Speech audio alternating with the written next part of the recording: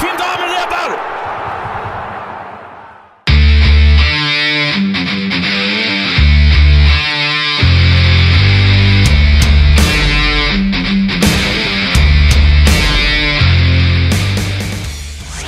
Borussia Dortmund gagal memenangkan Piala Bundesliga setelah bermain imbang melawan Mainz.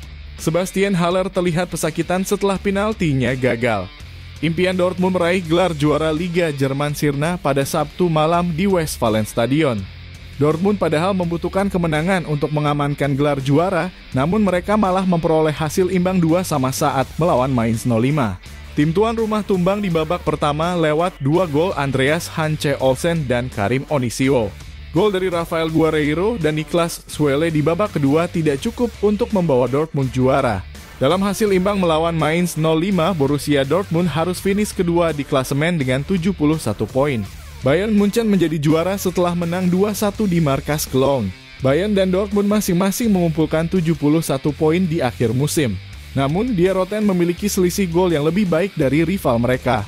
Sebastian Haller sangat kecewa ketika Dortmund tidak bisa memenangkan gelar juara.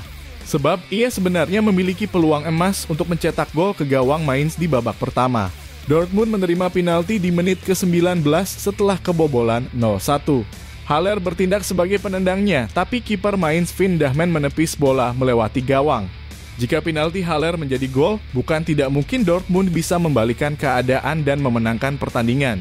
Namun, pada akhirnya angan-angan ini ternyata hanya mimpi. Ini adalah kedua kali dalam karirnya Haller gagal mengeksekusi penalti. Sebelumnya pemain berusia 28 tahun itu sukses mengeksekusi 26 penalti dari 27 kesempatannya. Sebastian Haller mengalami musim yang panas sebelumnya dia sempat diganggu oleh tumor testis. Penyerang asal Pantai Gading itu berjuang melawan penyakitnya tersebut dan berhasil mencetak 9 gol dalam 19 pertandingannya di Bundesliga.